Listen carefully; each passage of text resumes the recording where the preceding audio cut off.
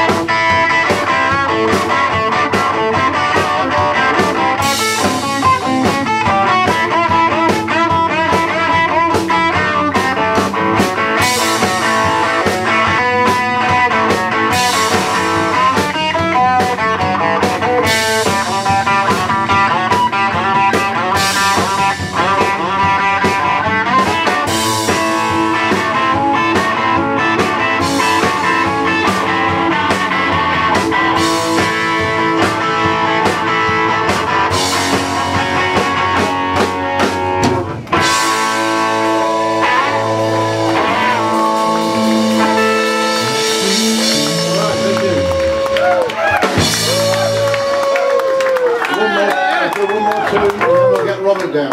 All right.